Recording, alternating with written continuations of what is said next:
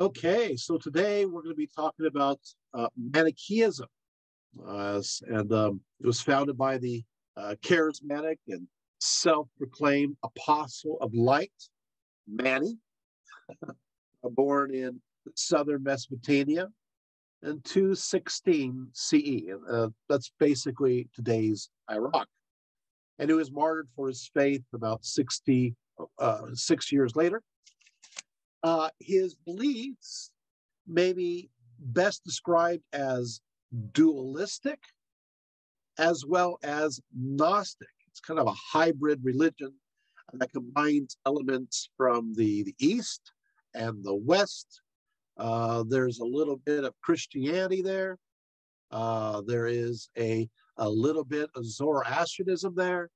And yes, there is a little Buddhism there too. so it's like, wow. So this belief system uh, seems to be almost uh, ecumenical, taking a, little bits and pieces from all these kinds of traditions. Uh, now, um, uh, I have to say that uh, the original writings of, of, of Mani were, were destroyed.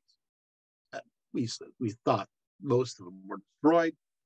And so much that remained or left behind were those at first of his critics. So, what we're going to do is we're going to take a little journey. And the journey is one of discovery.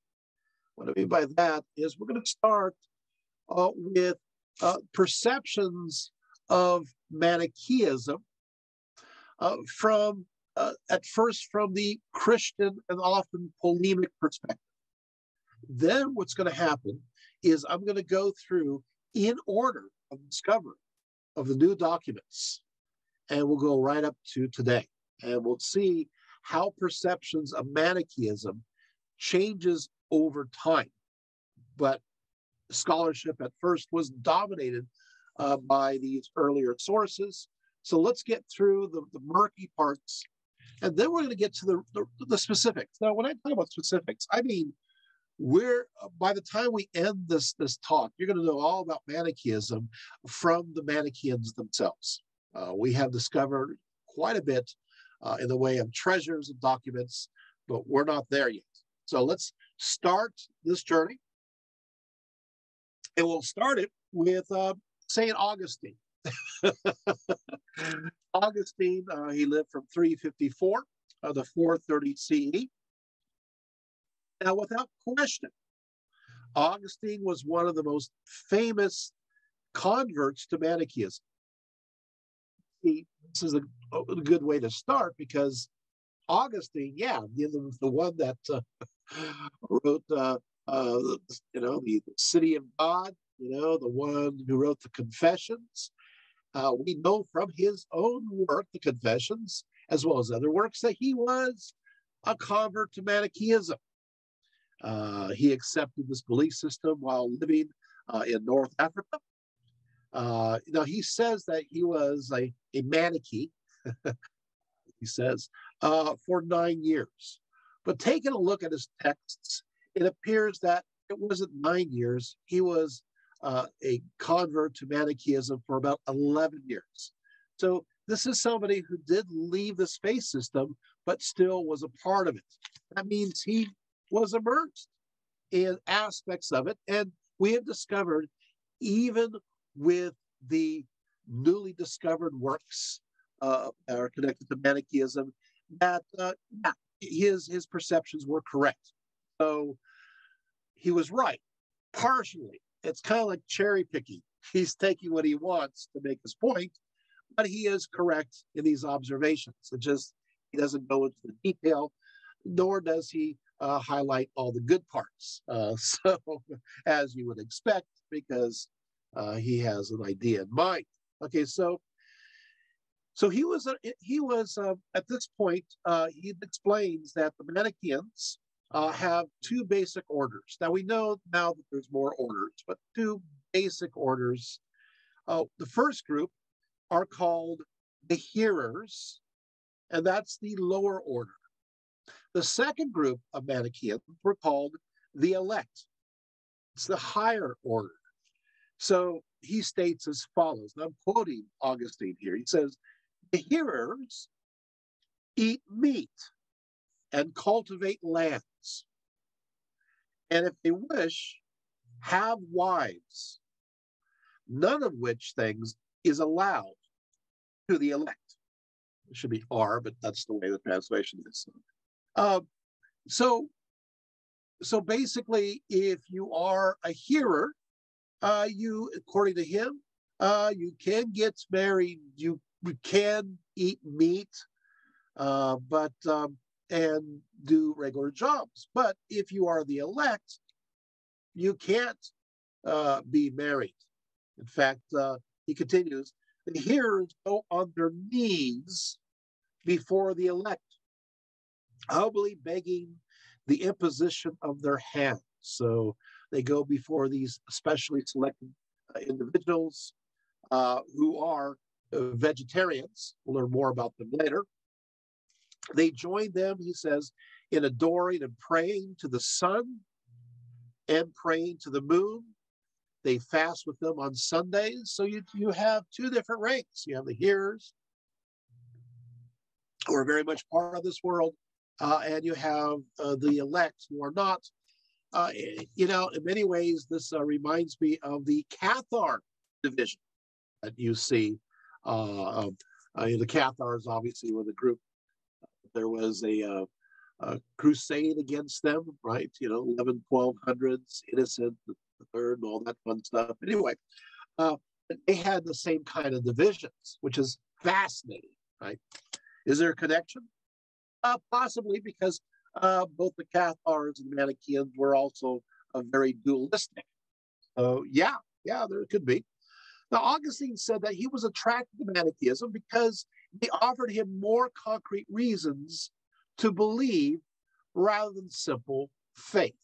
so, uh, later, as a Christian, he asserted the irony was that he was actually it was actually reason that kept him from fully committing himself to uh, the Manichaean faith.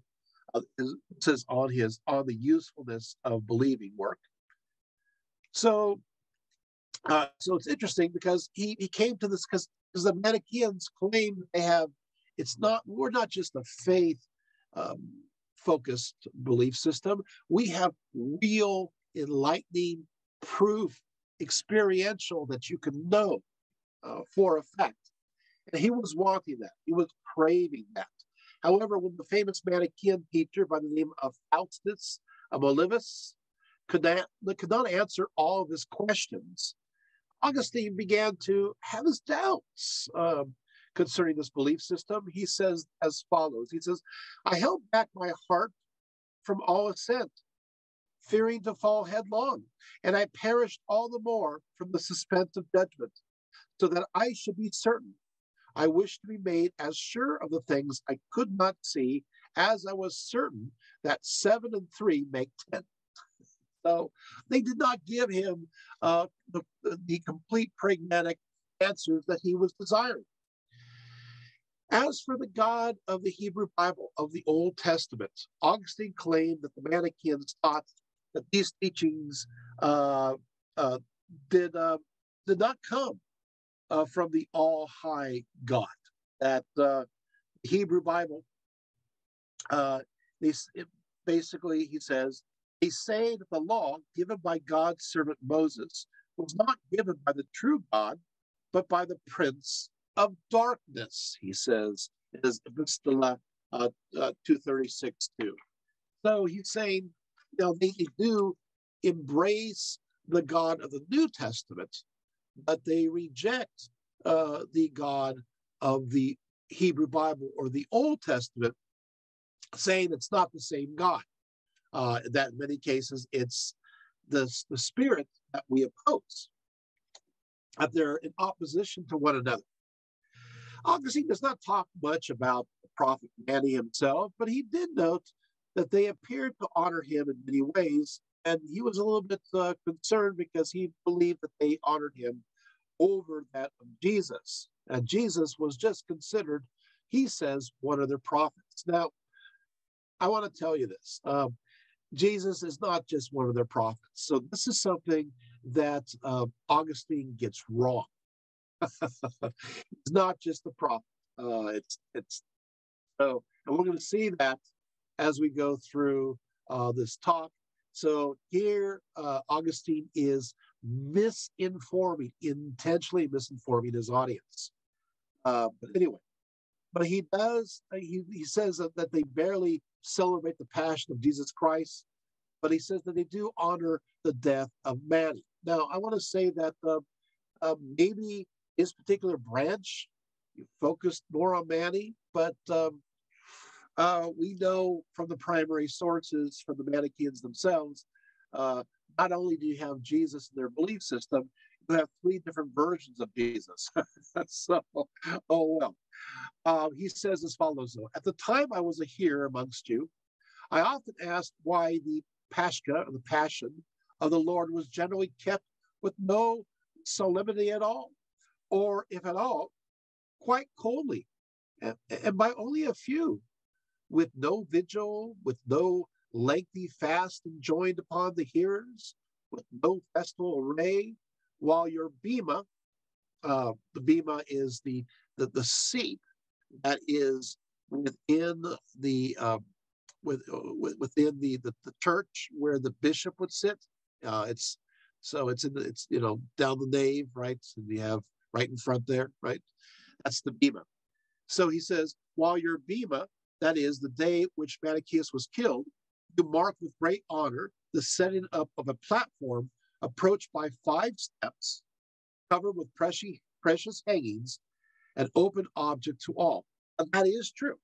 So they did have a special honor uh, to, to, to Mani, uh, in which the bema, in which this, uh, this the seat is in, in front of, of the, the, the assembly area was decorated with precisely five steps. So that is that is good. In fact, uh, the number five is very sacred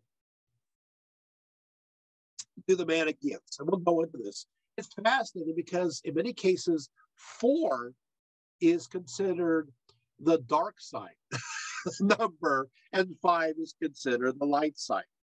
Don't worry, we'll go there. As far as their cosmology is concerned, Augustine continues, he says that, quote, that they considered all souls, not only of men, but even beasts, to be of the substance of God, and altogether part of God. Yes, that is true. So we'll learn uh, that um, the Manichaeans do believe that there is this, this soul, this special spirit and soul not only within humans, but within animals. What he does not bring up is they believe the same is true with plants uh, and also infused in nature in general. So there is this sense of animism there within this belief system. He says now this good and true God, he says, entered into conflict with the races of darkness, which which part is defiled all the world over. Uh, this, this is true, he's correct, but is purified by the meals of the elect and by the sun and the moon, while any portion of deity which it has been found impossible thus to purify is bound with an everlasting bound of punishment uh, to the end of the world. Okay, so yes, there are meals for the elect, uh, he fails to mention the baptisms as well. So there are ritual baptisms that are involved too for purity. So anyway, Augustine realized that much of the teachings of Mani, including those related to cosmology, um, should be taken literally. So um, he says that. So you preach especially that Mani came last for this reason, not to speak in figures, but to explain them so that having unlocked the figures of the ancients by his narrations and the clear light of his arguments, he should be hidden by no figures.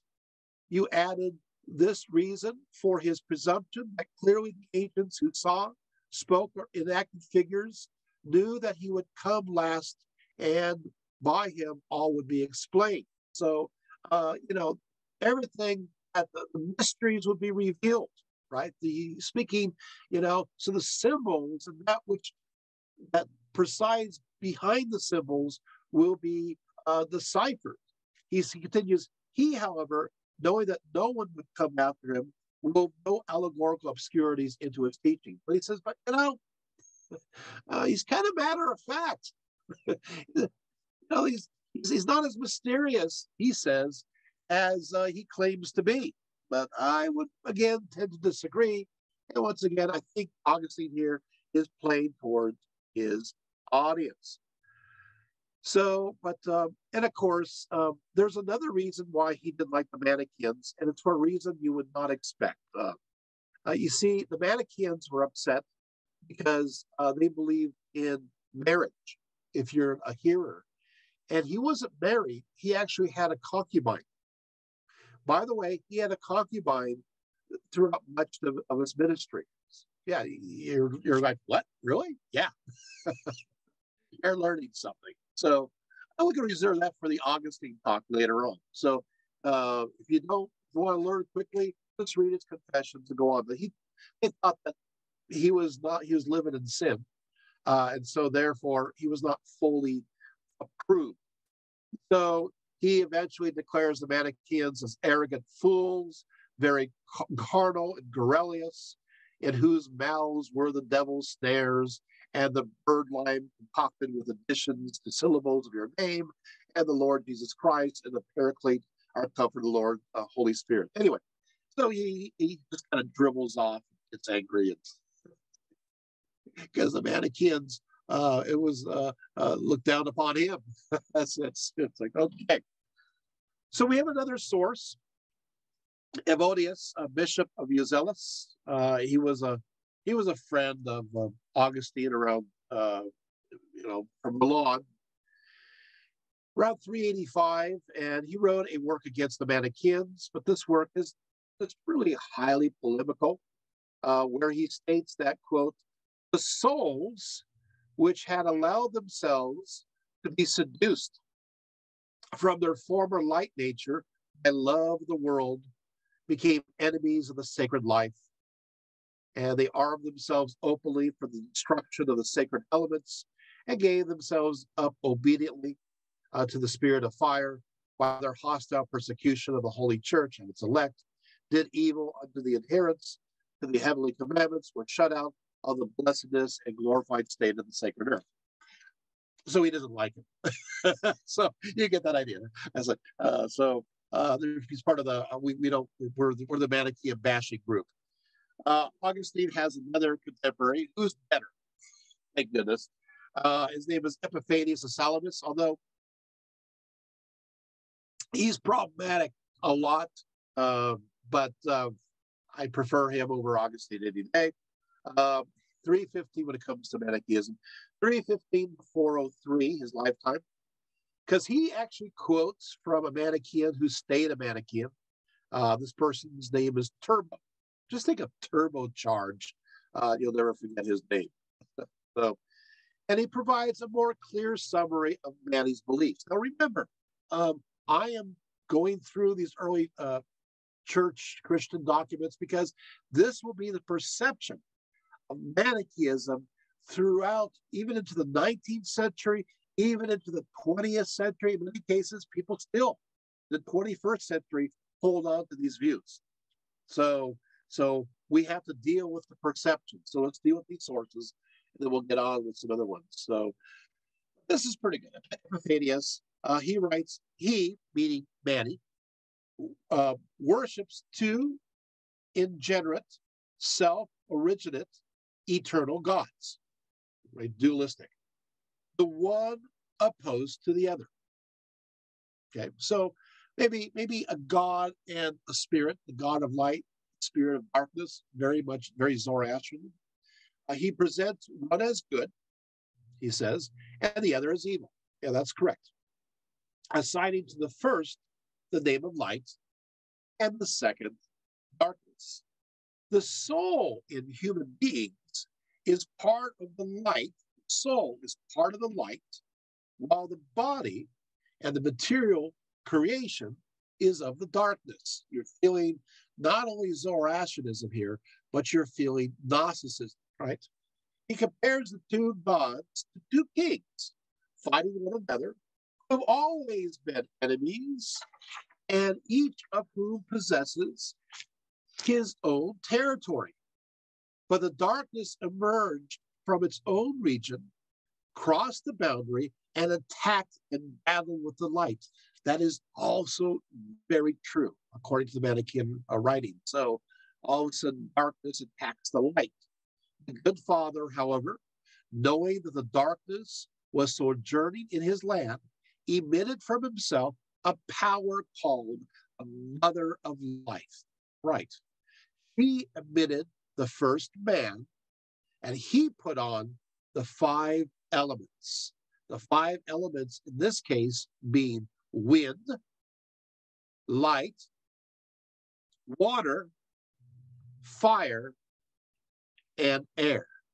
I know, where's earth? and why is wind and air separate ones? But we'll go there, right? We'll go there. But I want to say that he is absolutely correct. Epiphanius of Salamis is 100% correct on this. He got it. He gets an A. Augustine, I don't, I'm going to tell you what you got. But, uh, it's not an A or a B or, or a C or a D. Okay, so that leaves uh, E. e. I love that. All right. So Anyway, accordingly, according to Epiphanius, as a result of this invasion of darkness, particles of light eventually became trapped within the matter of this world, requiring an act of liberation to return the light to the heavens via the cosmic ladder of the Milky Way. We'll talk about this cosmic ladder in a little bit, but he again, of course, he's, he's right. So you got these particles of light trapped in the material realm. Once again, wow, this is pretty Gnostic. It sure is. now, those rising to the rank of the elect devoted their entire lives towards freeing these particles of light from within themselves through the abstinence of meat, which is, of course, laden with those fleshly enticements, right? And from sexual intercourse. So as why? Because you're going to scatter that light further on. If you if you have you know, particles of light in you and it's enmeshed in your evil material flesh, if you uh, procreate, if you're the elect, you're just spreading the seeds of that those particles of light further, uh, being further enmeshed in the material realm. So you know that's why they're the beginning of the end when it comes to the answer to release those particles. So through them, through the elect, um, you know, the particles can return, right? Uh, now, violence, of course, against any living thing was strictly forbidden. Uh, that, by the way, is inclusive not just of animals, but of plants. Don't be violent towards plants and vegetables. Did you know at one point, uh, Mani describes the tortured cries uh, of uh, arising from plants after they've been cut. He says, you know, uh, these plants, when you cut them, they cry out. Plants feel pain. That it's it's, it's cruel. Uh, because of this prohibition, many of those who followed Manichaeism at this time um, uh, only ate fruit had fallen from the trees. Not all, just, you know, definitely not all. But there's a group that says, hey, you know what? Uh, we can't eat the fruit until it falls to the trees because we get, ah, we're causing uh, pain uh, to the, the tree. So uh, that means that they're, I don't know, uh, eating lots of, of lots of melons, you know, uh, and of course uh, they eat lots of bread. So they got lots of carbs going on there with them, right? Their carb diet. So there you have it. Uh, but anyway, the, the uh, we know that also that the elect spent most, most of their time uh, spreading their message, you know, studying and meditating. Uh, so there it is, and um, um, and they kind of wandered about, you know, sharing the message. They always have a, a, situated home. they were supported by the hearers. So the hearers supported them. And of course, obviously, uh, Augustine was one of them at one point. Uh, naturally, of course, the hearers had one basic hope, uh, and that is, well, they want to be reincarnated as the elect in the next life. So that's the idea. So you can be a hearer, enjoy this life, you know, be married, um, and eat meat, you know, maybe just, you know, eat the plants, uh, the fruit off the trees. But uh, uh, soon as uh, you, uh, uh, when you die, the hope is because they're serving the elect, that their good works, what they do, will be that they'll reincarnate as the elect. And at that point, they're not. So you can picture the hearer saying, well, guess what? I'm enjoying life now. When I die, when I come back, I'm going to be the elected. No more fun for me. uh, so there you have it. Okay, so uh, only one early Western form of Manichaeism professed that the good father sent his son, who was transformed into a human form without actually becoming flesh, help save the soul of light from the archon powers of darkness. Uh, we have that that idea does spread. Uh, this particular form it gets as far as China, so that's as far as you can probably get in, the ancient times. Again, Turbo, as a, this is this is we're, we're still dealing with Epiphanius and Salamis and quoting Turbo. Turbo relates the sun, quote, fashioned this salvation of souls by creating a device. This is so interesting. Create a device having 12 buckets turned by the sphere and drawing up the souls, the dying. So you have this, this, this, this there's this, there's this kind of this wheel, right? It's, it has 12 buckets on it. Got it? A Ferris wheel. Up. And what it's doing with each bucket, it is filled with the, the light particles of these souls. And it goes up and it says, These the great luminaries take hold of with its rays, purifies them, and gives, gives them over to the moon. And in this way, the moon's orb is filled up. So what does that mean? So you got the so you have this little Ferris wheel with the buckets on it. You like my sound effect.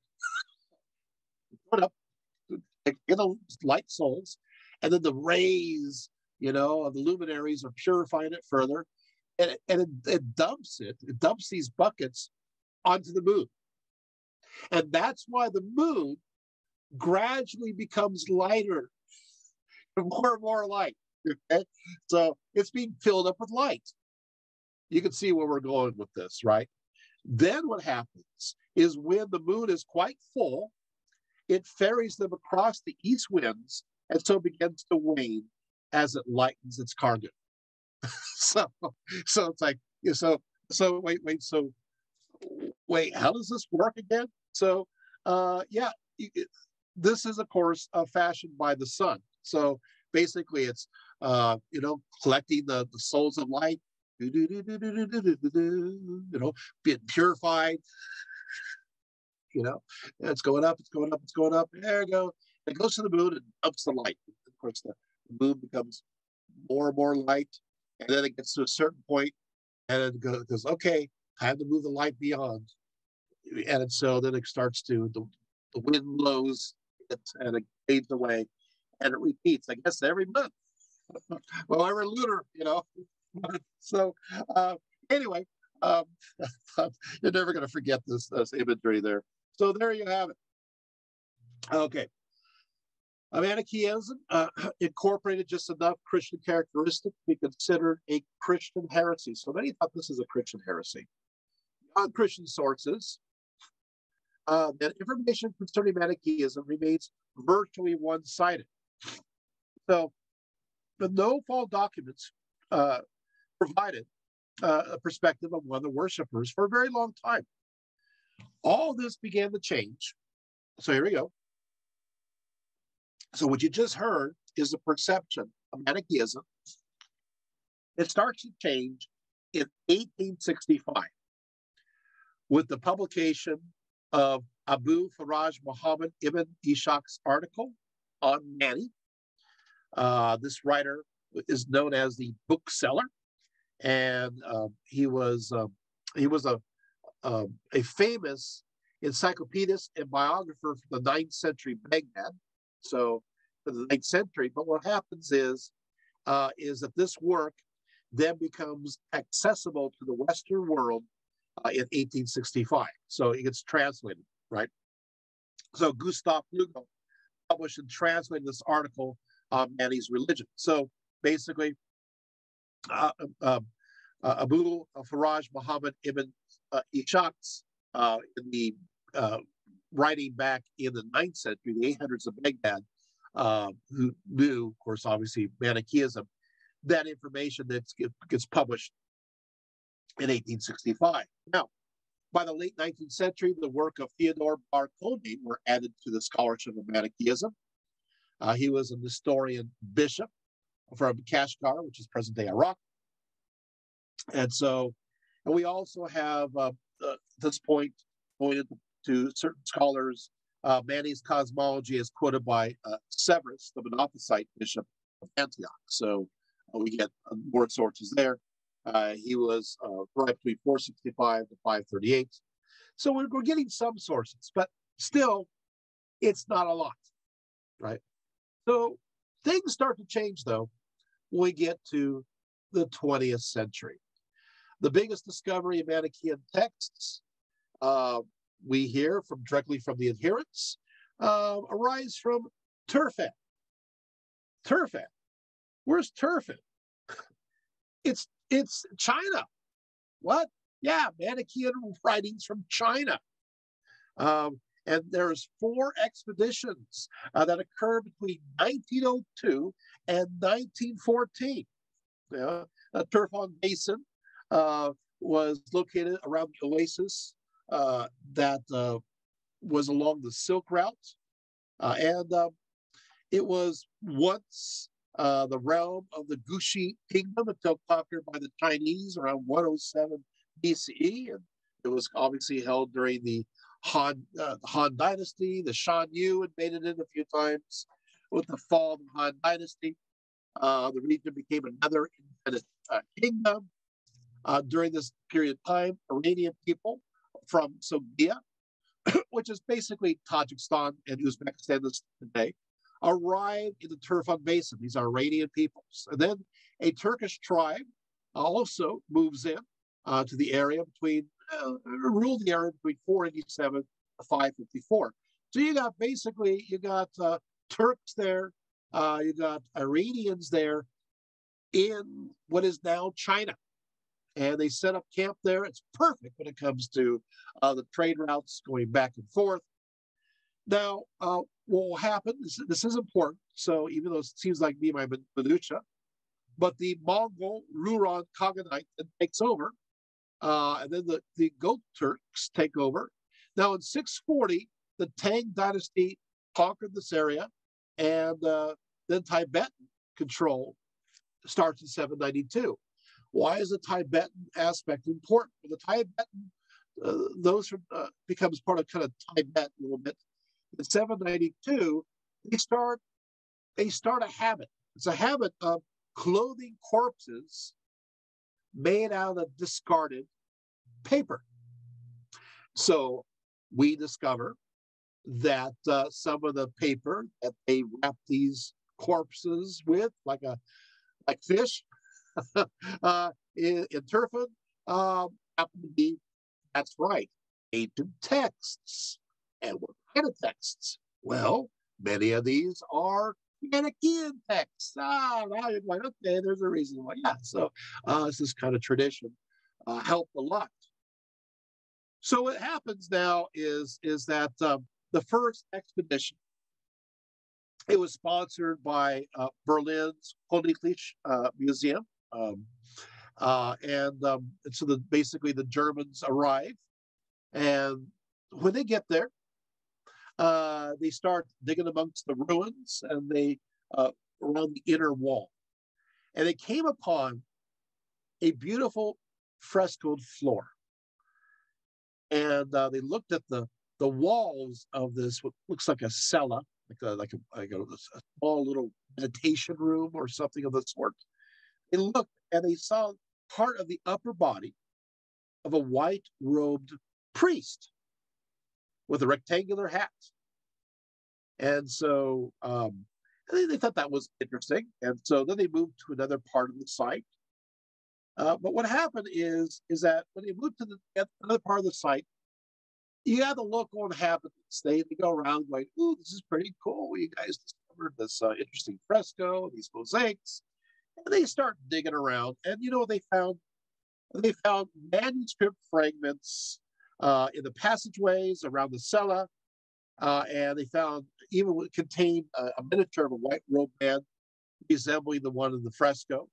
And so, of course, they stumbled upon a yes, a manuscript depository, and they start clearing up the rubble-filled rooms.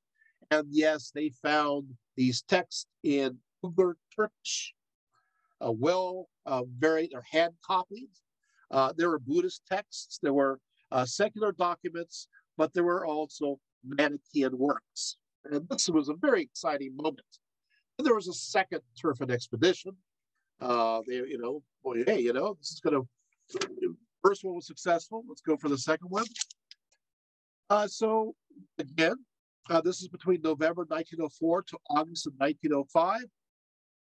And they found again um, uh, more more materials. Um, but unfortunately, uh, this is really sad. It turned out that a lot of the materials were destroyed. The worst part of it is they were recently destroyed. As they're sifting through, what had happened uh, is that uh, uh you had uh, within within a few years earlier, they had uh, rerouted some of the irrigation canals and changed the water table, and the water table rose a little bit as a result of that, and it turned all of these manuscripts into mush, louse, and awful. And, and as they're going through this mush, they found the corpse of a murdered Buddhist monk. Uh, you know, his ritual robe all stained with blood. You know, archaeology uh, can be gross and it can be disturbing.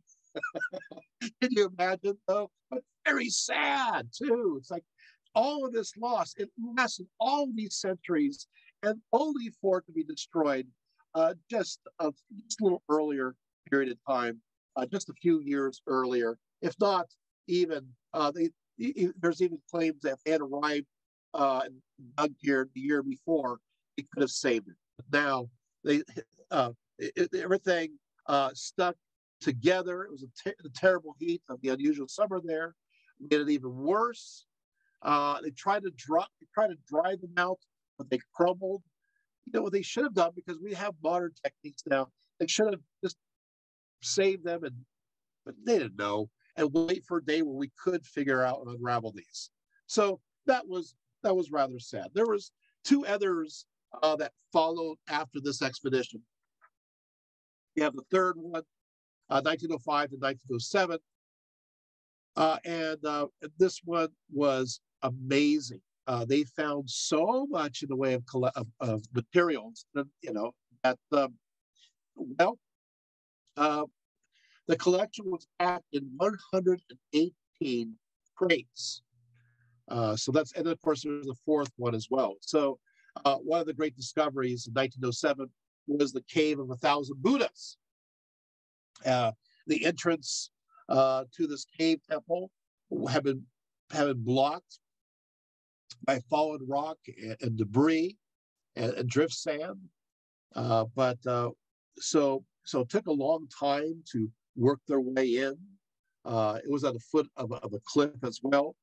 So they moved into the antechamber and they, they noticed a crack in the fresco wall of, of a passageway as they moved open that passageway. It's like Indiana Jones.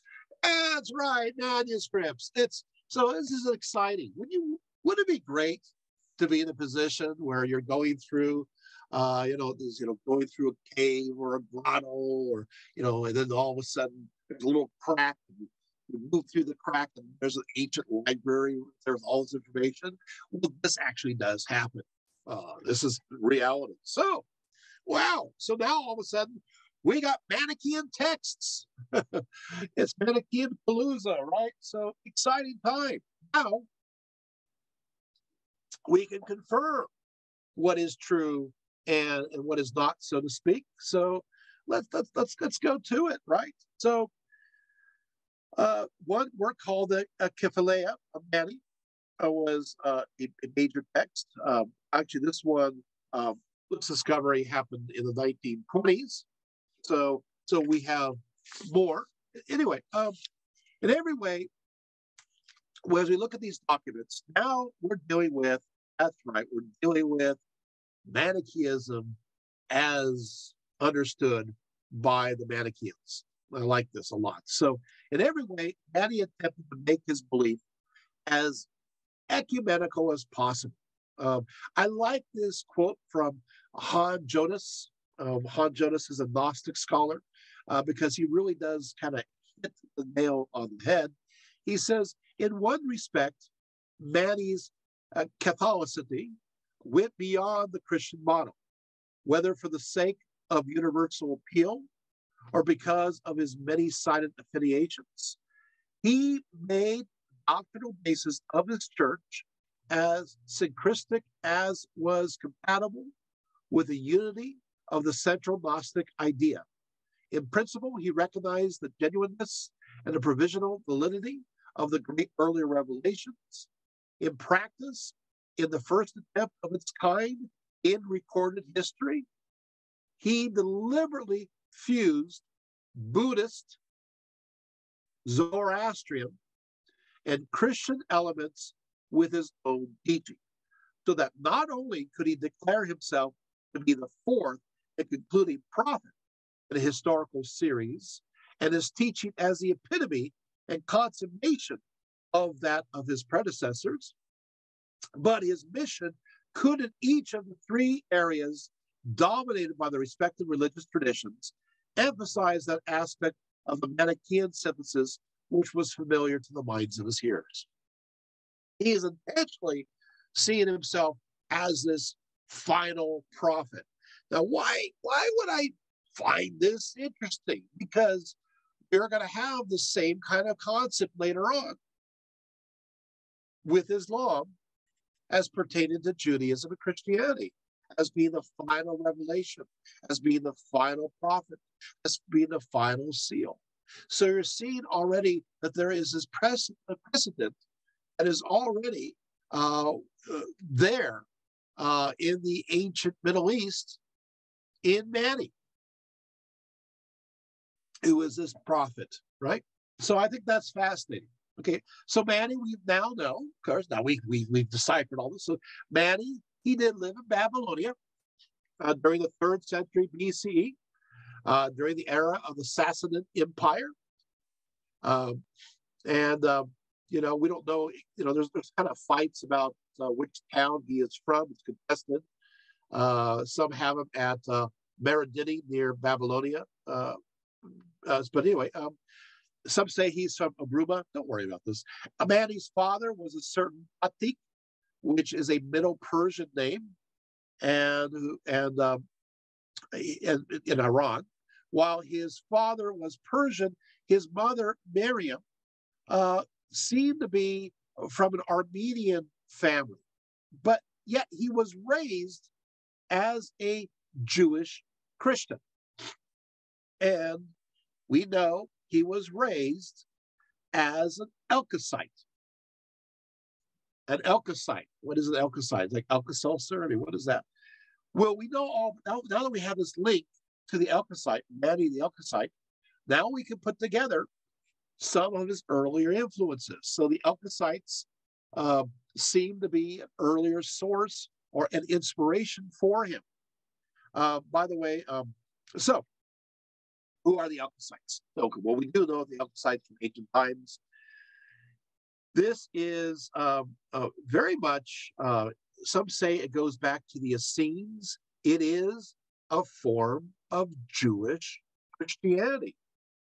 Uh, so we're not now we're not talking about Manichaeism, but we are. So the Elkosites, once again, he was raised as an Elkosite, And that means aspects of this belief will go into his belief. So let's talk about the Alkacites.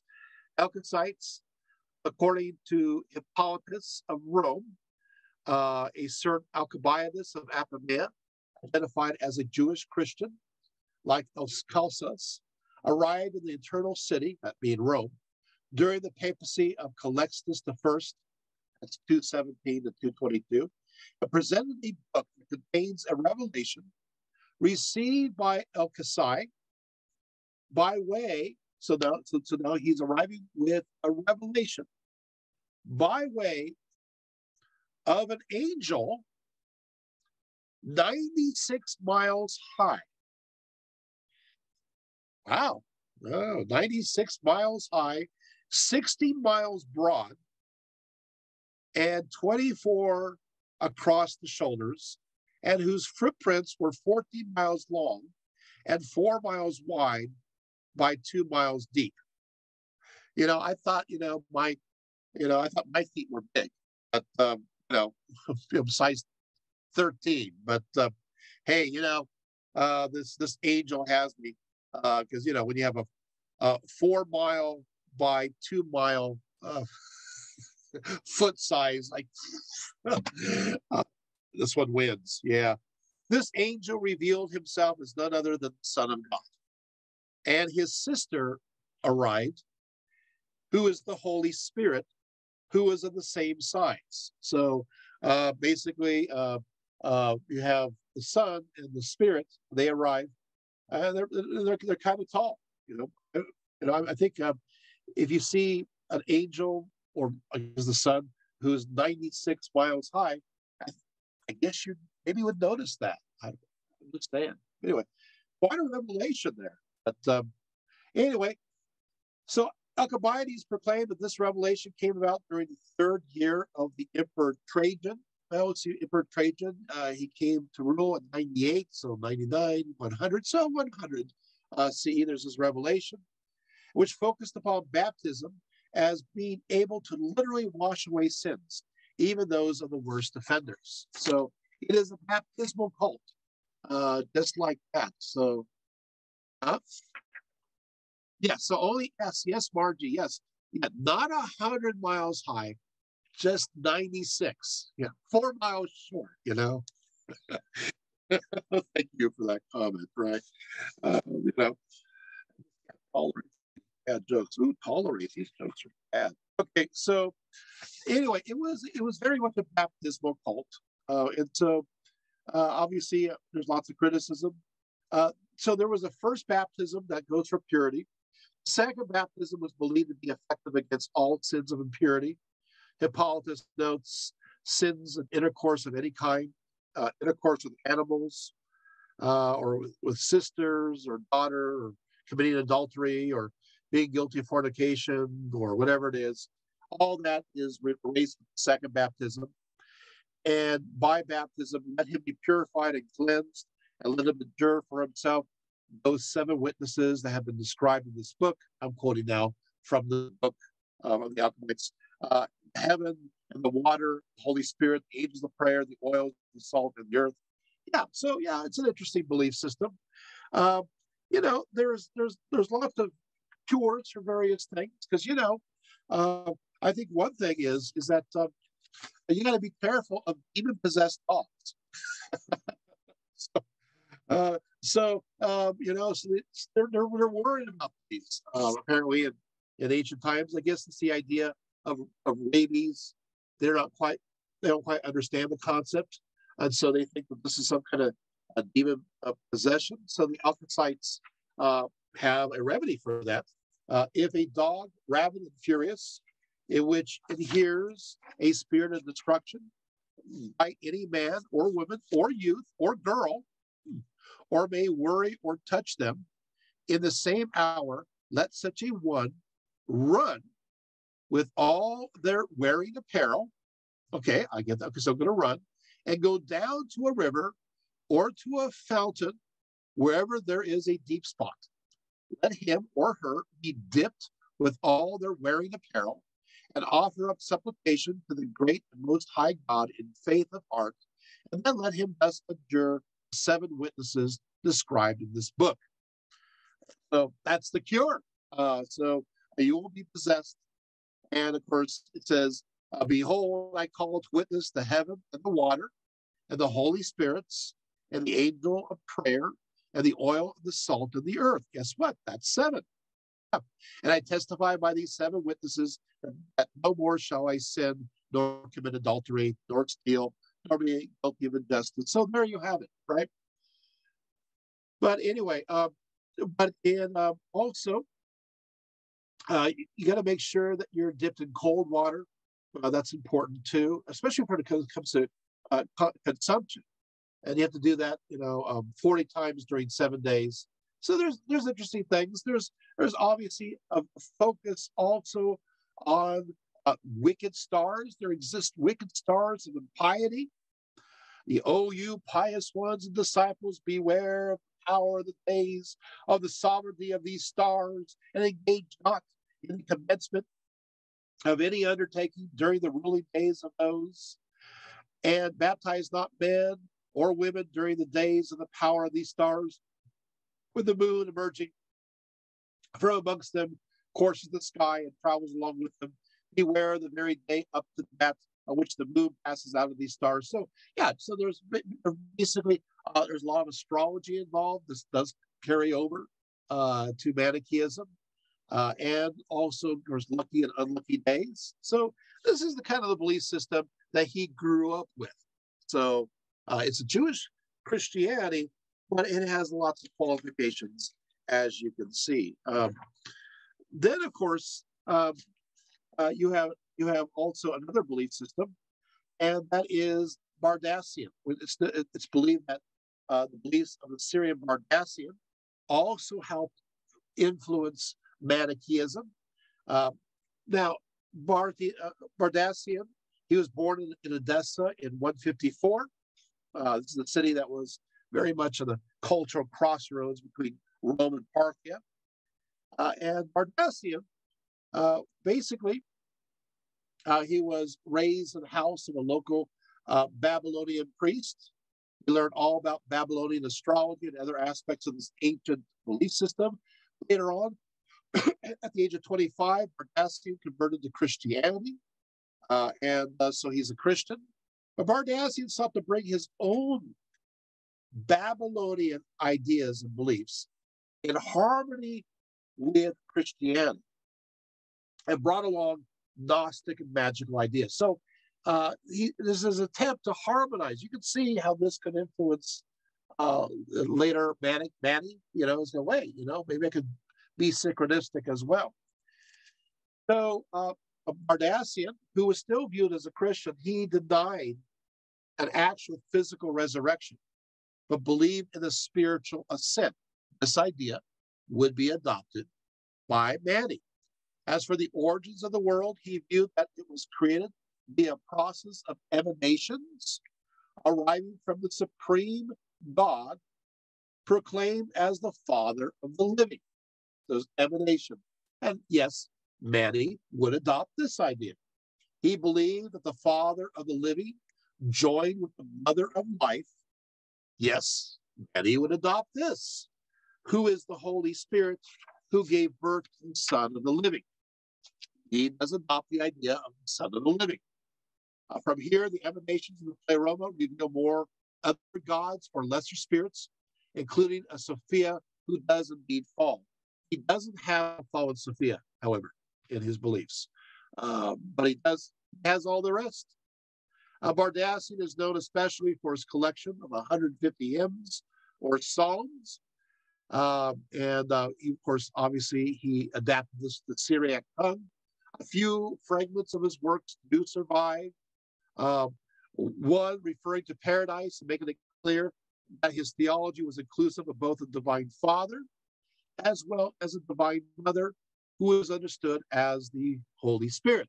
In fact, he writes, Thou fountain of joy, whose gate by commandment opens wide to the mother, which beings divine have measured and founded, which father and mother in their union have sown, with their steps have made fruitful.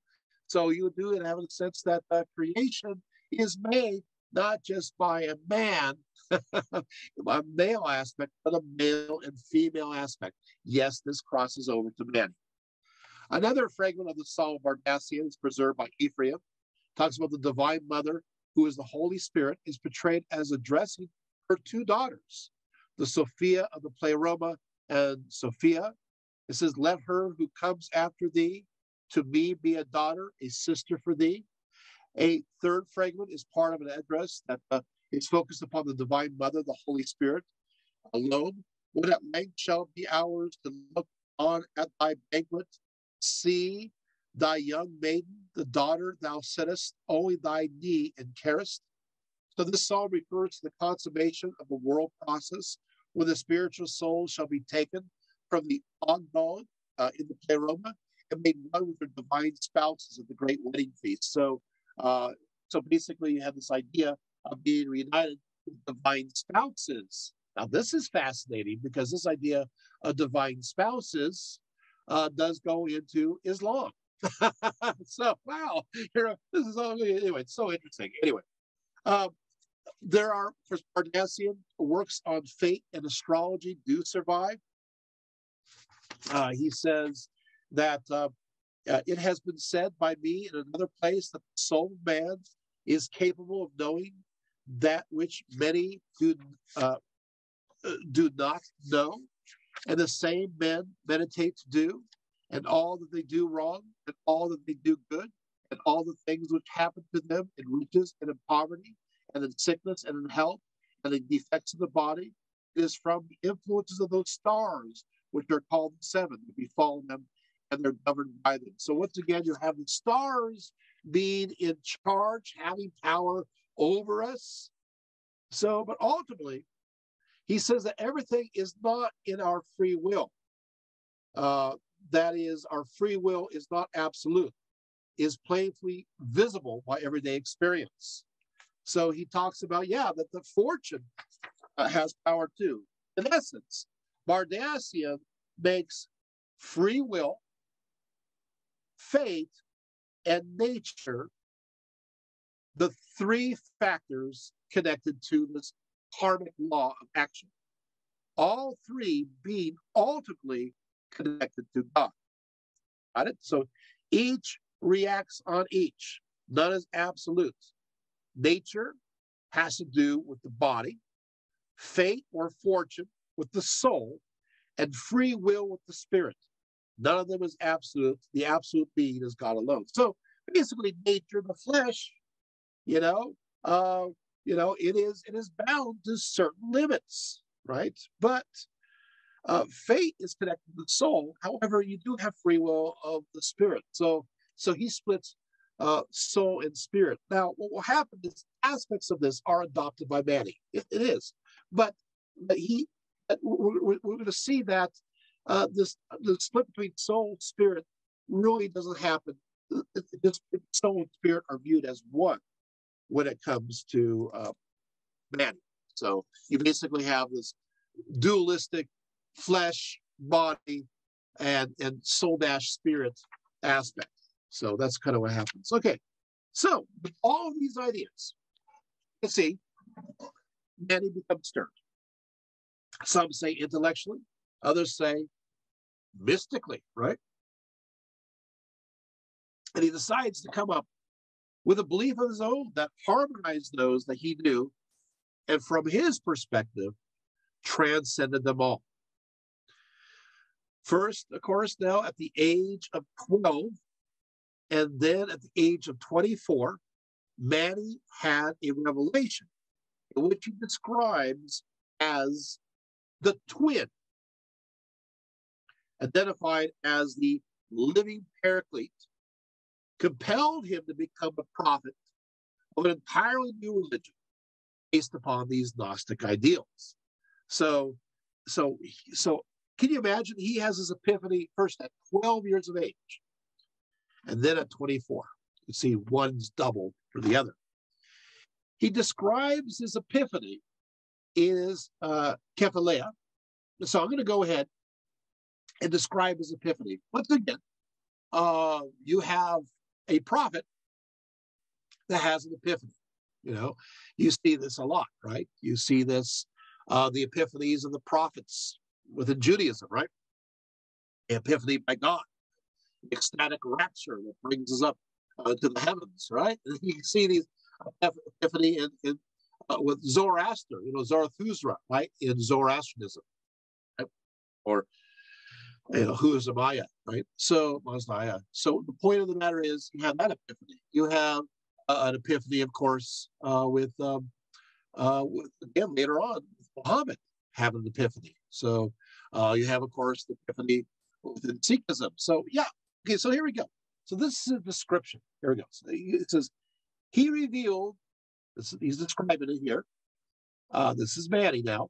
He revealed to be the hidden mystery. Oh, wait, one thing. So now we do have writings, hello, of Mani, because we thought we're all destroyed. Now we've discovered them, you know, 20th century, right? Okay. Um, he revealed to be the hidden mystery that was hidden from the world's generations, the mystery of the depth and the height. He revealed to me the mystery of the light and the darkness, the mystery of the conflict and the great war which darkness stirred up. He revealed to me how the light turned back or overcame the darkness by the intermingling and how, in consequence, was set up in this world. He enlightened me of the mystery of the tree of knowledge, of which Adam ate, by which his eyes were made to see. The mystery of the apostles who were sent out into the world to select the churches. Thus was revealed to me by the Paraclete all that has been and that shall be, and all the eye sees, and the ear hears, and the thought thinks. Through him, I learned to know everything. I saw the all through him, and I became one body and one spirit with him. Wow! Talk about complete uh, immersion, right? He's becoming one, you know, with God in a mystical moment. Now that is right. That's you know in Christianity, uh, even Eastern Orthodoxy, uh, you can you know go through uh, a theosis, right? You know, you do this whole thing of of opening yourself up, right? You open yourself up through apatheia. You open yourself up. This is a Greeks, and then of course through ascesis, through this effort of opening up, you enjoy, of course, uh, theosis. You know, you start to divinization, divinization. You know, you're going through, um, you're becoming godlike. But then to stay around, you kind of circle around, but you never become it. You never become one with it. you just uh, you participate in, you know, the emanations, but never right there, right in the dark, right in the right in the target, right in the target, the target. Well, guess what? Manichaeism, and he hit that target. He was there. You know, he saw it all for that moment. He was the all. So you see, and and the all is very inclusive of all things. Whew. Okay.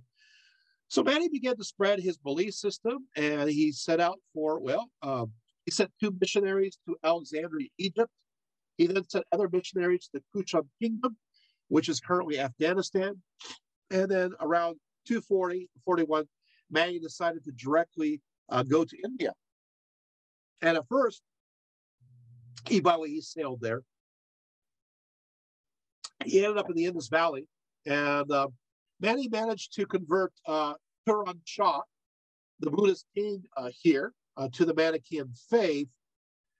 And according to the Kephalaia, uh, Mani moved the whole land of India with the said he prophesies that he would face forces that would diminish mission there because he was, and they, he did use this word, because he was too heavy.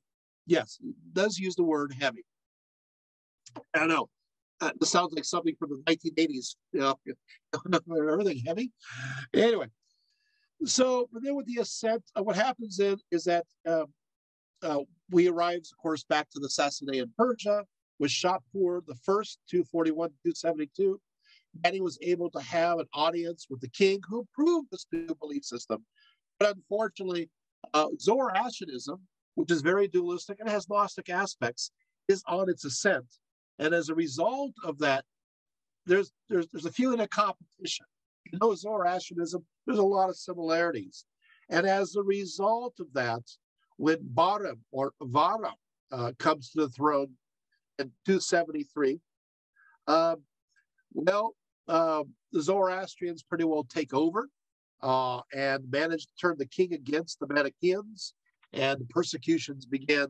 Mani, of course, is in prison and he dies in 276.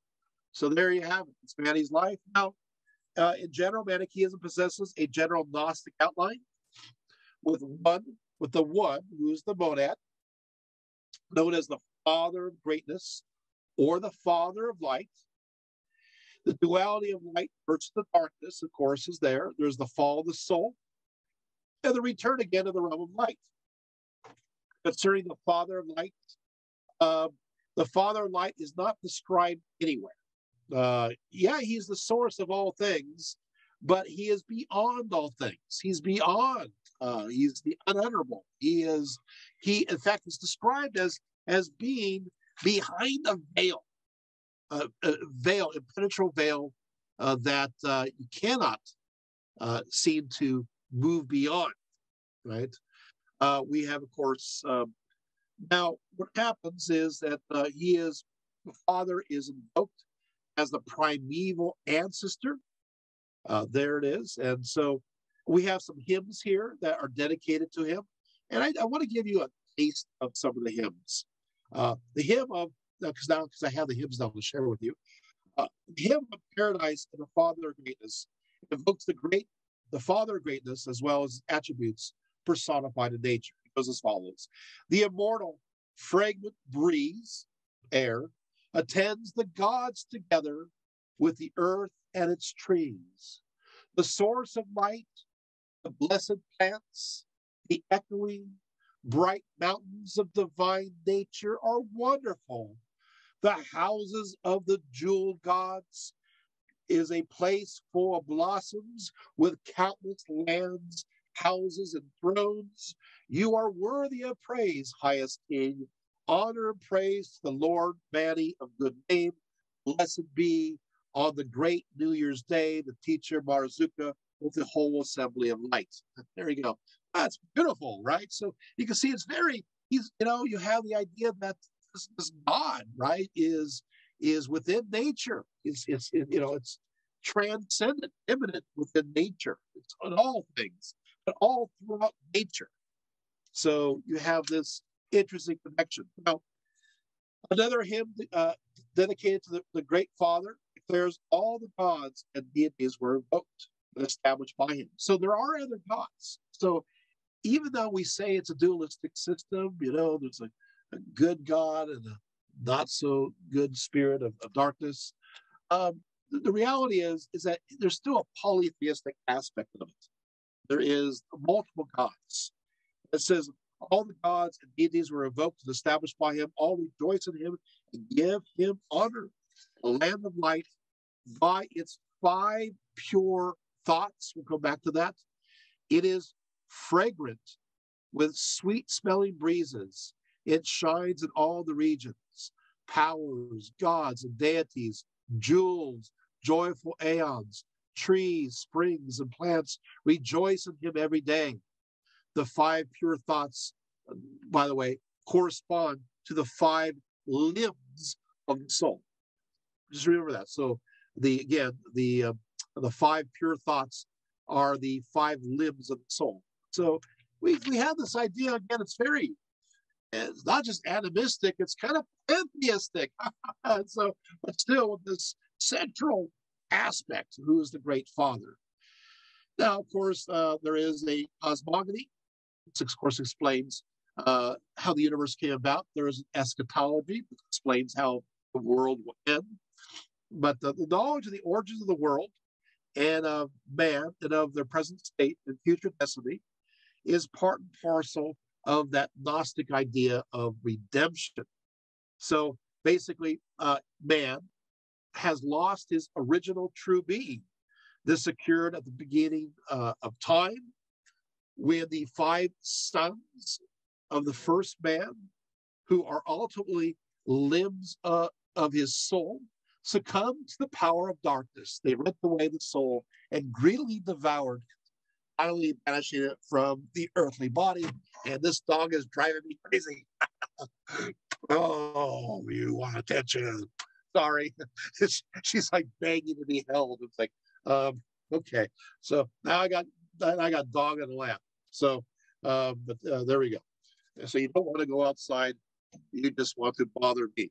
Okay, so uh, I guess doggies are included, right? Manichaeism. So, so, so Blueberry is a Manichaean uh, adherent, right? Are you Manichaean? Right? You follow? Okay.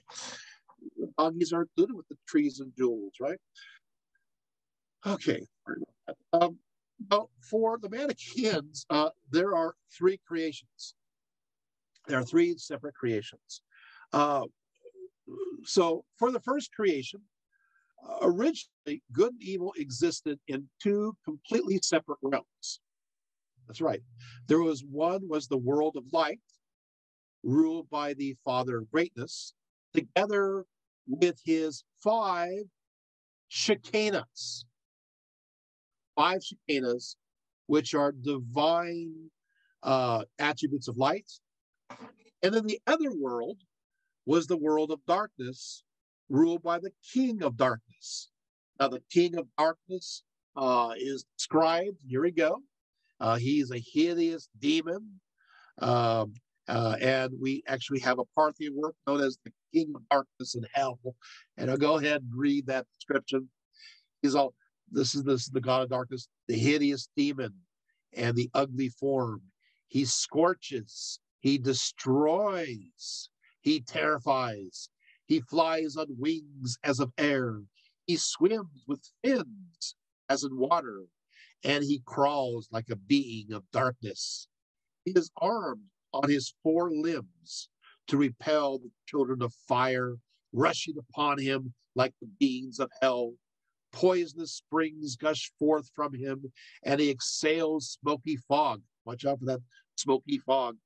His claws and teeth are like daggers. They are beings of hell wrought upon a couch of darkness in lust and pursuit of desire they give birth to each other and then destroy each other.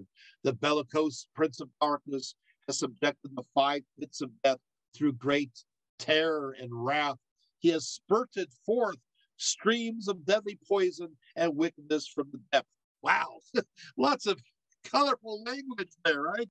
Uh, spurted forth streams. Ooh, okay, so at a certain point, uh, uh, the kingdom of darkness notices the world of light. And he becomes greedy and he attacks it. So the father of greatness in the first of these three creations or calls, calls to the mother of life. Yes, the mother of life, who then sends her son, who is the original man, Nasha Qadmaya, right? In Aramaic, his original man, who is the primordial man, to battle with the attacking powers of darkness, which includes the, the demon of greed, right? So the original man, this original man, so basically you guys got this. You have the father greatness, right? Uh, and then of course what happens is, is that uh, he calls to the mother of life, who then sends her son, the original man, to uh, who is the primordial man to battle against this darkness. There's this battle going on, right? Okay. Well, what happens is this original man, this archetype, has five sons who are known as the five Shekinahs. Ah, there we go, the five Shekinahs. The first one, uh, the first Shekinah, the first son is ether. The second is wind. The third is light. The fourth is water, and the fifth is fire. Sound familiar? That's right. Now, the original man is armed with the five different shields of life, uh, uh sorry, uh, of, light. These are reflections of the five Shekinahs. So he's fighting with the shield, but he loses to the force of darkness in the ensuing battle, uh, described as kind of a bait to trick the forces of darkness. So as as he's sacrificing himself, oh no, you know, and as darkness starts to spread on him, he's trapped on these forces. You know, this ideal man who emanated from the great Father Godness. Uh, something happens. What happens? Well, what happens is he's rescued. He's rescued. We'll go there. So it says, The good God, the highest of the gods, diadem of eternal glory, blissful amongst the lights, was proud and happy when you were born in his realm. The 12 sons of the aeons and the aeons and the past heirs were happy. All the gods and inhabitants of his realm, the mountains, trees, springs, the broad strong palaces and halls, were happy through you, friend. With the lovely women and girls born of the sense saw you. This is describing the ideal man. They praised you, blessed you, perfect youth. Songs filled the air, tambourine, harp, and flute exploded. Uh, I'm not sure about what the flute exploding, but there you have it. All gods stood before you, prince, son of a king.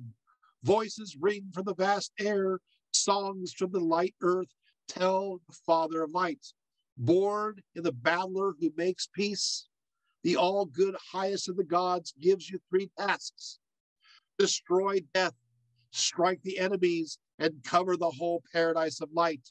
You paid homage and went out for battle and covered the whole paradise of light. The tyrant prince was bound forever, and the dwelling place of the dark ones was destroyed. The light friend, primal man, remained until he carried out his father's will. Ooh, oh, there you go. That's pretty kind of cool. So there you have it. You know, this is this primordial uh, man. The story how the darkness took captive the light is told fully in the Parthian hymn known as the Captivity of Light. Uh, we will go there. Uh, here it goes. It says, uh, and, and, by the way, um, uh, it introduces uh, Pessus, and Pessus, P E S U S, this is the name of the female animal in the realm of darkness that gives birth to the first human pair. So you have the feminine aspect, which is above, and you have the feminine aspect that's below. You have the, good one and you have the dark one. We already talked about the good one, about the bad one, right? Lo, the great kingdom of salvation waits on high, ready for those who have gnosis, right? They have knowledge, so that they may finally find peace there. Sinful dark Pessus runs hither and thither brutishly, she gives no peace at all to the upper and lower limbs of light. She seizes and binds the light in the six great bodies. Now, where are the six great bodies that the light is captured in? In earth, in water, and fire, and wind, and plants, and animals. Right? She fashions it in many forms. She molds it into many figures. She fetters it in a prison so that it may not ascend to the height she weaves a net around it on all sides. She piles it up. She sets a watchman over it. Greed and lust are made its fellow captives. She mixes destructive air into those six great bodies. She nurtures her own body, both destroys their sons. The power of light on high confuse all domains of wrath. And the sons, that is, Nessus, who is the higher place. So she is the instigator. Uh, this is, is the instigator of this cosmogony being the dark active energy that causes this fall. The upper and lower limbs of light the elements of light which emanate and then is captured by her to become the four elements of the earth. You know, so, so, so earth, air, fire, water, along with plants and animals thrown in. The particles of light will then shut up within the human body, along with evil desires, the dark elements, of course, mirror the light elements as above, so below, one copying the other, combining the other, and dragging this light all the way down into the realm of darkness. Right. Okay. Well, so that's okay. So the story of the first man fights the powers of darkness. He eventually succeeds, as described uh, in the battle of the first man, right? Uh, then came the beneficent father with his brothers and saved his own light. So what happens is he's rescued. Yes. And so ends the first creation. But then we have the second creation. Then the Father of greatness begins the second creation. calling to the living light, who called to his five sons. The living light, the living, uh, sorry, this, this uh, living a uh, life, this living spirit was created as a result of a prayer made by the mother of mother of life and the father of greatness. So the father greatness and the mother of life, they pray together, and this becomes the living spirit, this living light, and it becomes a deity. In essence, the living spirit is that prayer made manifest and turned into a deity for the express purpose to rescue her fallen son, the primal man.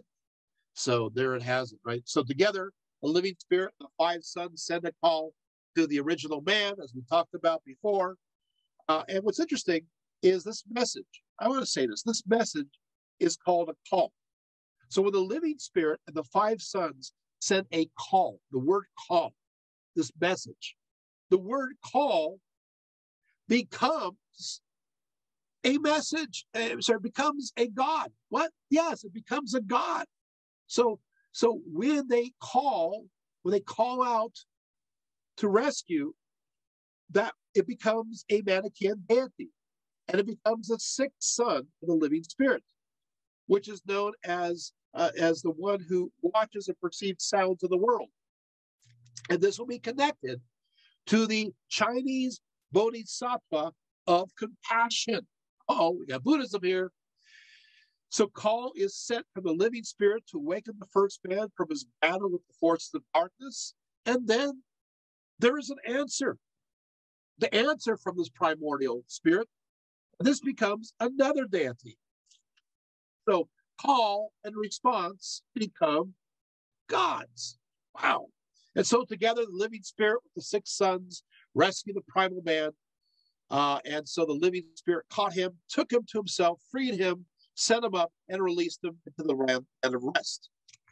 So the mother of life, the living spirit, and the five sons began to create the universe from the bodies of the evil beings of the world of darkness, together with the light that they have swallowed up. So, um, so each uh, five sons of the living spirit take on specific responsibilities uh, in the in the second creation.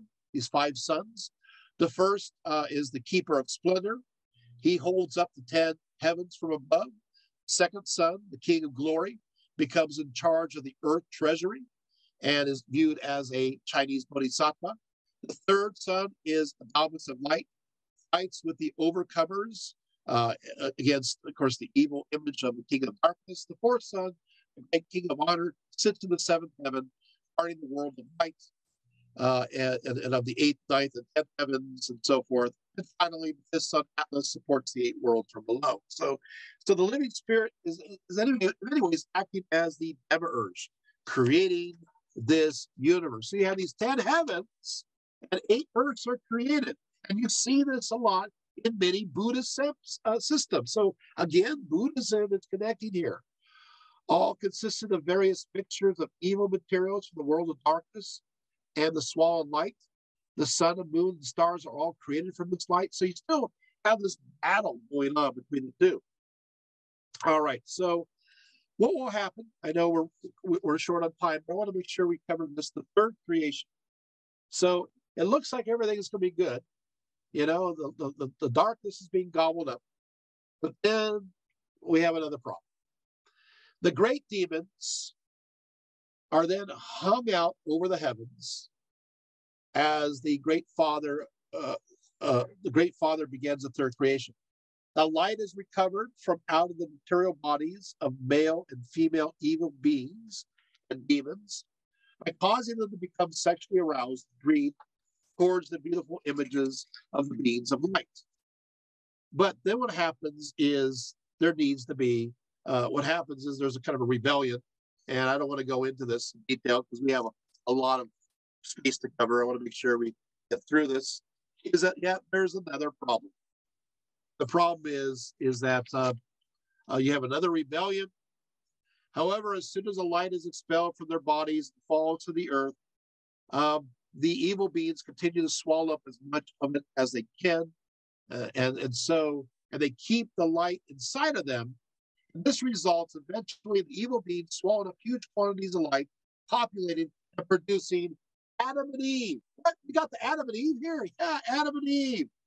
So the Father of greatness then sends to Adam and Eve the radiant Jesus to awaken Adam to his true nature, to his true self, to his true soul that is enmeshed in his material body, and to, to enlighten him to the true source of the light that is trapped there. And so you have Jesus that is brought out to help that out. Okay, so you're thinking, okay, so now, so Jesus is there, right? In fact, what will happen is Jesus, uh, as a result of this, I know, is that you have different forms of Jesus. You actually will have eventually uh, three forms of Jesus that will appear over a period of time, each time enlightening us, uh, waking us up to the reality that we are strangers in a strange world and need to be brought forth. And by that recognition, uh, obviously being uh, free of the material world.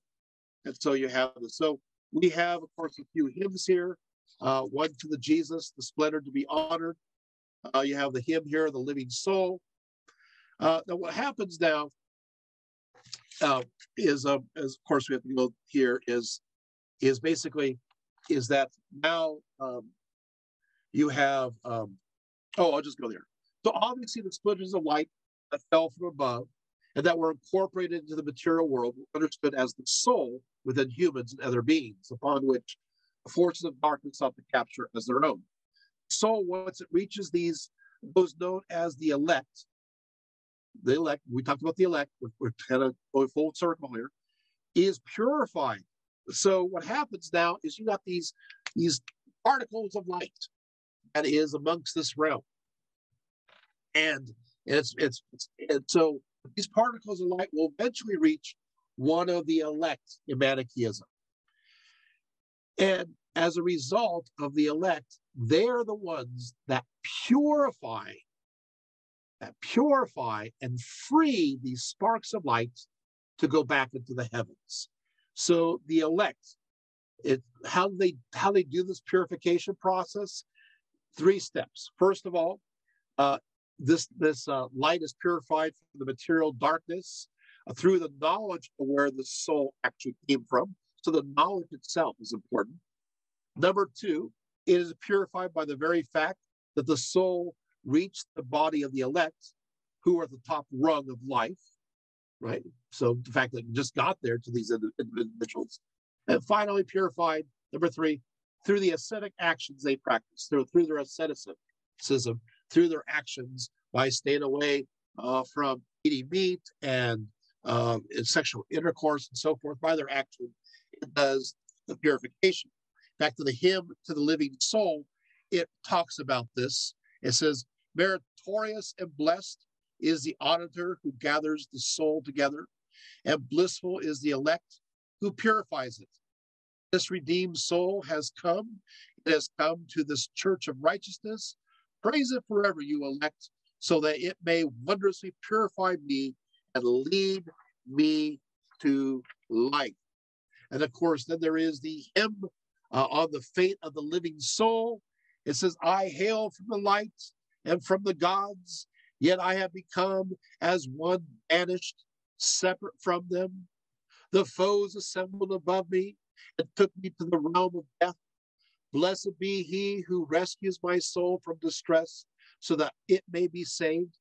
A God am I, born of the gods, a bright, radiant, shining, beaming, fragrant, and beautiful God. But now I have fallen into misery. Countless demons seize me. Loathsome ones capture me. My soul has been subjected by them. I am torn to pieces and devoured by demons and yakshas and paris and black and hideous and stinking dragons that I could hardly repulse, and I experienced much pain and death at their hands. They all roared and attacked me, they pursue me and rise up against me. All right. So so we must, and of course, obviously these are the rays of light, but they incorporate reincarnation. So in the hymn exhorting the soul to remembrance, it says as follows. It says, remember the cycle of rebirths and the torture of hell, where souls are hurt and oppressed. Maintain the fervor of the soul and the treasure of the word so that you may enter the paradise of light. So yeah, reincarnation. So this this process may happen over a period of time.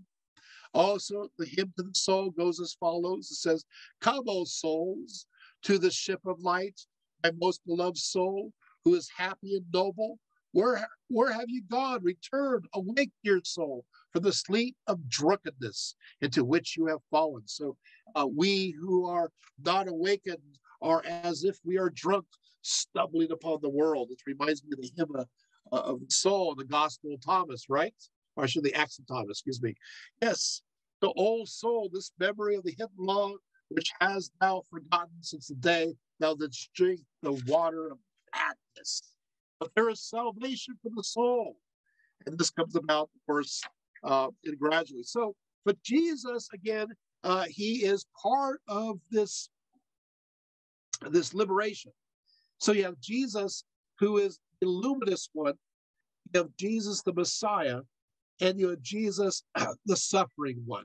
Uh, Jesus, the luminous one, uh, his primary role was as supreme revealer and guide. He is the one who woke Adam up from his slumber and revealed to him the divine origins of his soul, right?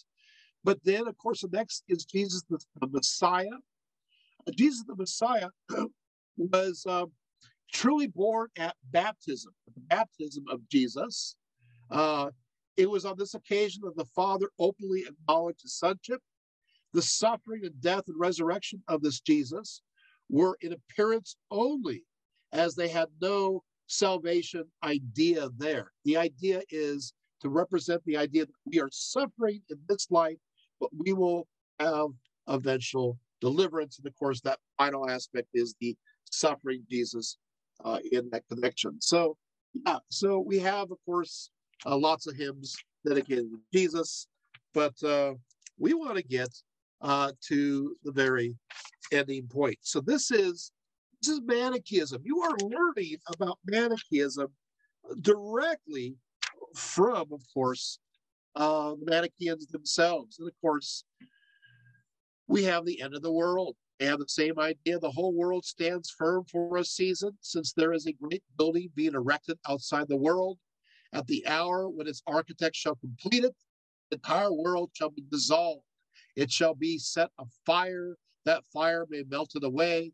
All life, the remnant of light in every place, he shall gather to himself and form it uh, uh, of it of a statue. Even the resolution of death, also the whole darkness, he shall gather in and make an image of him itself, along with the archons, and it goes on and on.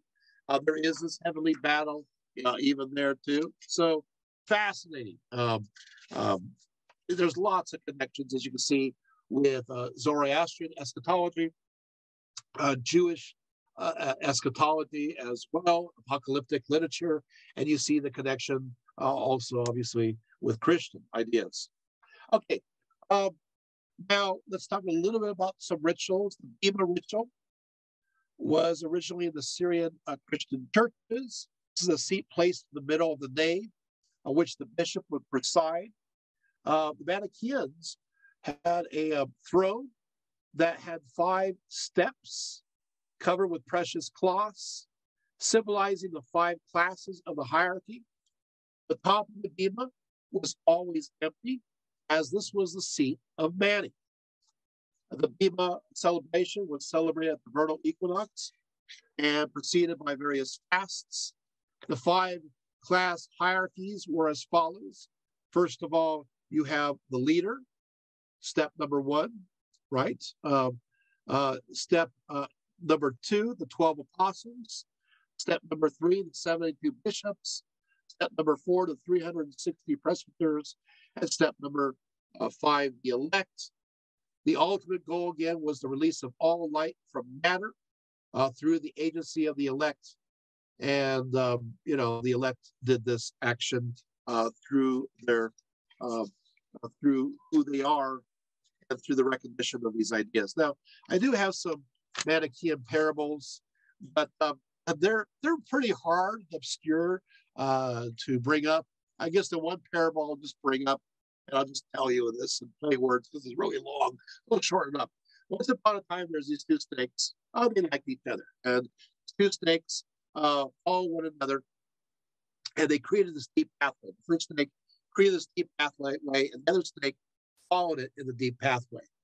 Well, this man, representing the evil man, evil one, uh, dug this this pit, and on this pit, underneath this pit, he placed a fire because he wants to burn apparently the snakes. So the first snake uh, tries to cross, but he's really long. He's a really long snake. He tries to cross, and what happens is that he gets halfway across, and he just doesn't have enough enough power. He's too heavy to leap all the way across. So this one snake, uh, poor snake, is suspended. His head is on one side, his tail is on the other side, and his belly is in the middle with the fire coming up forth. And what happens then is the snake gets burned, it falls in and dies. Well, the second snake is following along the same route and goes, Oh no, oh no, I'm not going to be able to cross either. I'm going to get stuck. And so this is the great idea. So the snake decides, what I'm going to do is I'm going to turn around and burn half of myself in the fire because I don't need to have I don't need to have this part of my body because it weighs too much. Then I can enter into liberation. I can cross the other side. So the snake suffers and feels this pain as part of its snake little body is burning up. I feel bad for the snake. Anyway, so what happens is the snake now is like half of what he was, and he's able to leap across the, the chasm. Leap across the chasm because he's lighter. And the idea is, well, the concept is, is that the, the second snake is is like the elect who has released its material connections, realizes it's going to be in pain, but it will escape the fire and go into salvation. so, yeah, I know. Okay. This is probably not the kind of parable you want to tell your although, you know, I mean, it talks about kids. I mean, kids hear lots of weird stories as it is. Um, so there you have it. So where do we go from here? Um, we're going to finish up. I want to bring up something really intriguing, at least from my perspective. What's going to happen uh, is that um, where, what happens to this belief system? Yeah, where does it go?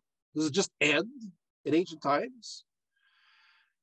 Well, of course, we do know that it, does blend away with Mahayana Buddhism and so many different possibilities there. And um, in fact, Mani's imagery kind of blends with that of, of Buddha. Uh, see where we're going, right? So, so what happened is, is that yes, we know from the Turfan fragments where we conclude. We're going to talk about what happened, or Zoroastrianism. That too, right? A Manichaeism. It's a slip, it's a funny slip because they're both dualistic, Gnostic case and Persian. Okay, so Manichaeism eventually reached China uh, through the Silk Route, uh, through Central Asia. Now, Chinese texts help decipher the history of Manichaeism in China. Uh, there was the, the, the king of the Tang court, uh, Tokastrian, in 719. Uh, it mentions a Manichaean uh, who arrives there. Uh, you do have a, reference to um, another uh, Ifris Wu uh, Manichaeans were said to be there. Chinese court was apparently still in the dark as to the nature of Manichaeism, however, until around 731, when they asked the Manichaean priest to compile a summary of his beliefs, which is entitled The Compendium of the Teachings of Mani, the Buddha of Light. The Buddha of Light. So already by this time, Mani is looked at as the Buddha of Light. Now, when, when Mayu Khan of the Uyghur Turks, a leader of an incredible fighting force uh, defeated the weakened Tang China uh, from Tibet, converted to Manichaeism in 762. Manichaean temples were permitted in six central locations in China. So now you have setting up already in this in the in the mid part of the 700s Manichaean temples.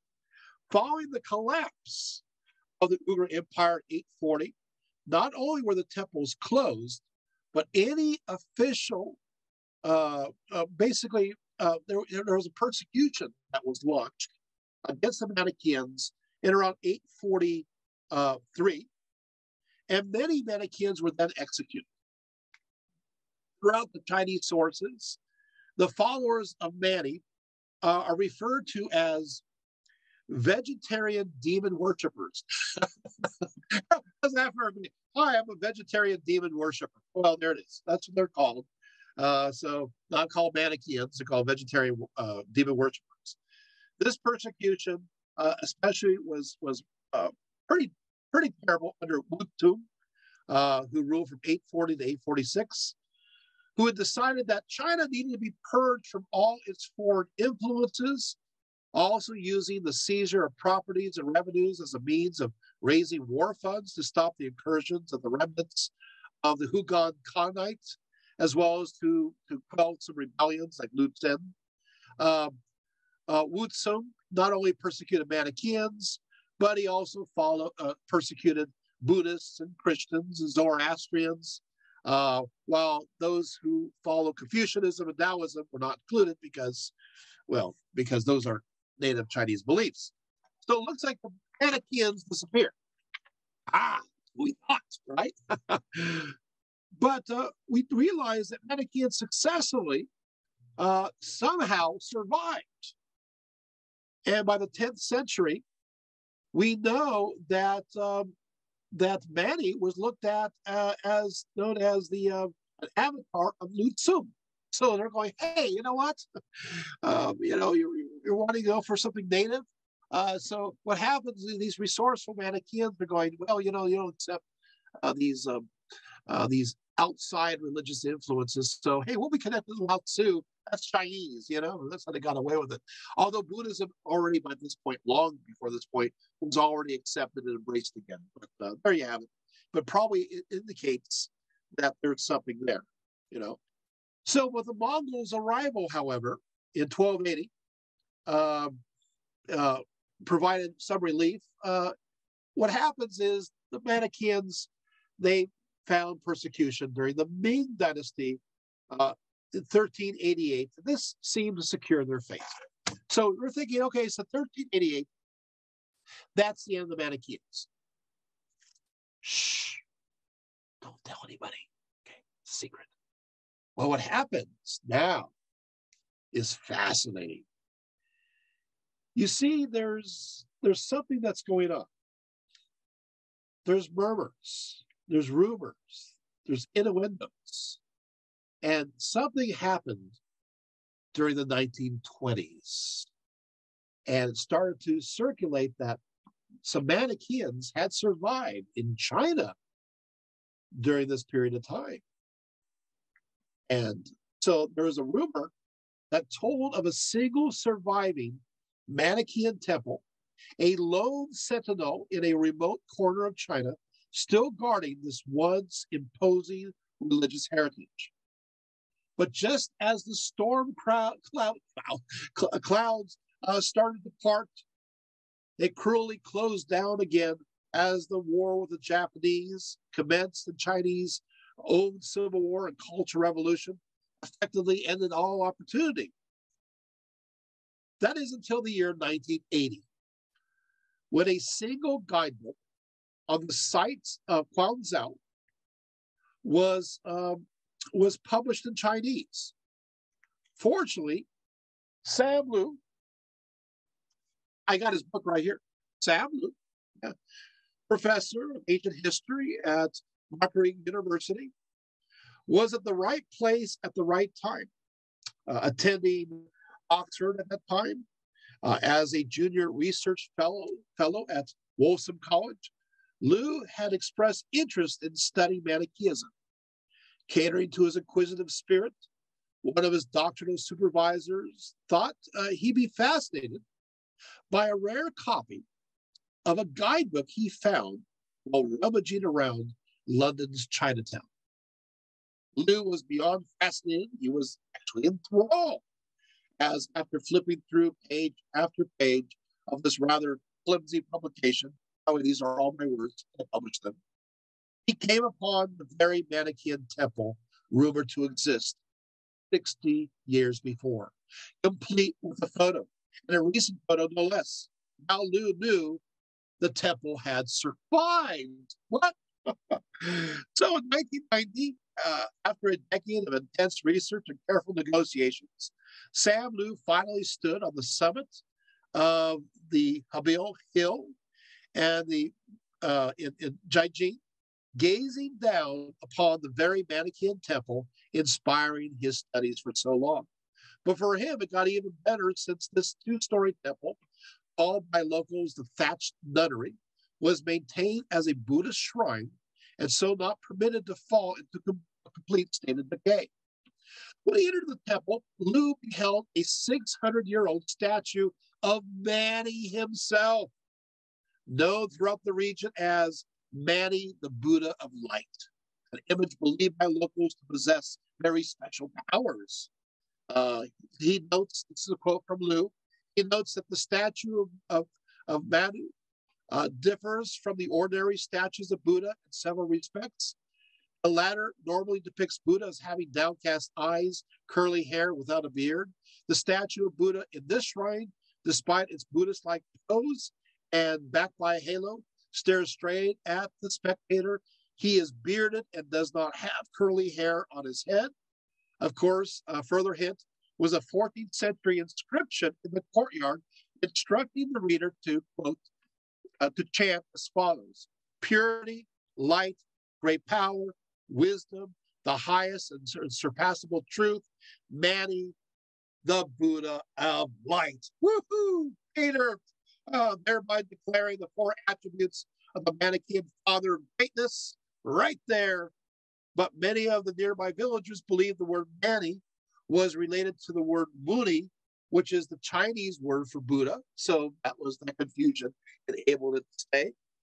It became very clear how this, this evidence may be reinterpreted, especially by those having very special special uh, agendas. So in 1991, a year following their successful uh, excursion, UNESCO officially declared the temple a World Heritage Site. By the year 2000, Lieu managed to create a team of experts on Manichaeism committed to, to explore the site and general surrounding area for more clues of this ancient religion, including the village of Qunzhou.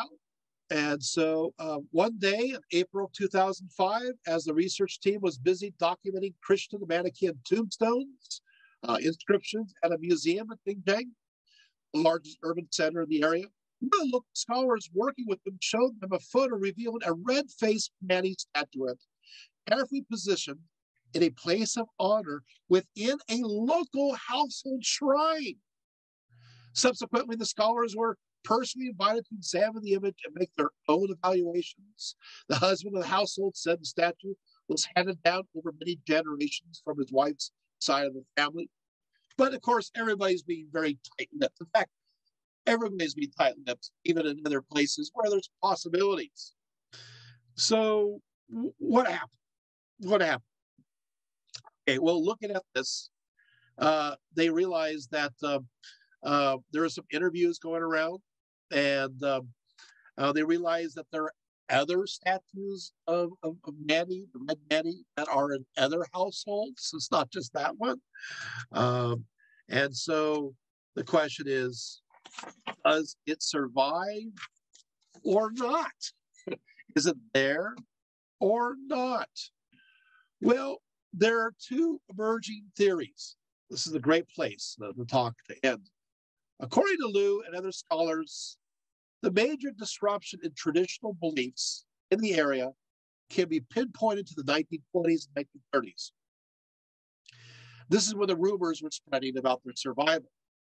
Uh, there was a zealous Buddhist monk who appeared on the scene during the 20s and 30s, convinced of his right to compel people to believe, even by force if necessary, and fully commit to the reforms of local traditions, cult rituals, and beliefs.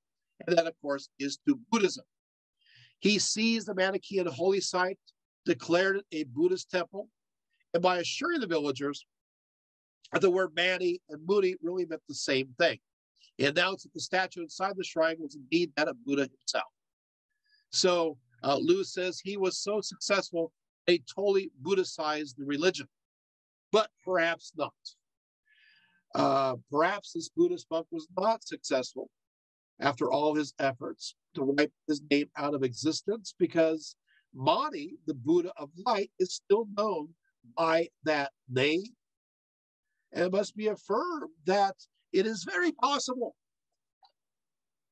Manichaeans, even after the 1920s and 1930s, still survived in secret in China because, after all, that's the only way they could survive. Why would they emerge now? Because when they realize that history has been against them, because all would happen is that for something to change, and all of a sudden they become a persecuted group once again. So you can decide whether or not, whether it's true or not. Did Manichaeism just survive into the first part of the 20th century, or is it alive and well today? It's up for you to decide. I have a feeling it still survives, although we do have modern followers who have since uh, come upon it and follow this practice. But I'm talking about from an unbroken lineage from the past, from ancient times. It's a good question. It's a good thought. But I hope that I enlightened you, enlightened you uh, about Manichaeism, and I hope you enjoyed this talk. Um, if you have any questions, please ask. And thank you so much for being here.